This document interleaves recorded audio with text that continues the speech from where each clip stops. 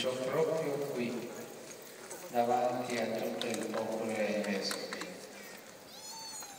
Voglio mandarvi tutti in paradiso. Cosa poteva chiedere di più il poverello di Assisi se non dono della salvezza, della vita eterna con Dio e della gioia senza fine che Gesù ci ha acquistato con la sua morte e resurrezione. Non siamo mai soli nel vivere la fede. Ci fanno compagnia i santi, i beati, anche i nostri cari che hanno vissuto con semplicità e gioia la fede e l'hanno testimoniata nella loro vita.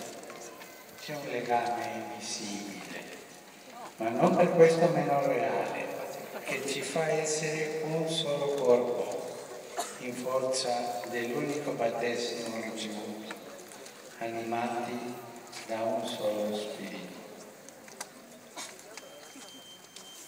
Forse San Francesco quando chiedeva a Papa Onorio III il dono dell'indulgenza per quanti venivano alla porziungola, aveva in mente quelle parole di Gesù ai discepoli.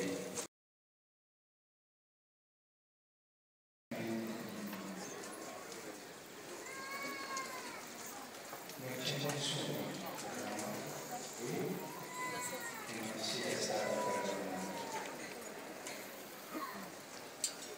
Io penso, pensiamo, desiderio,